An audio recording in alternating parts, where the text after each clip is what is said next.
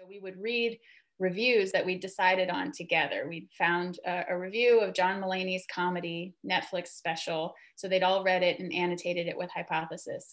And then in class, I wanted them to isolate some moves that the critic was making in writing about Mulaney. So they would, under their name, share a quote and then identify what they thought the, the rhetorical move was that hmm. the author was making. And then the next step of the activity was for them to respond to each other. Um, and that's where the d- discussion got cool, right? Because the comments in the document was where the back and forth was happening and everyone's together. So there's there's hypothesis um, annotations as homework where they may be in the document at the same time or not.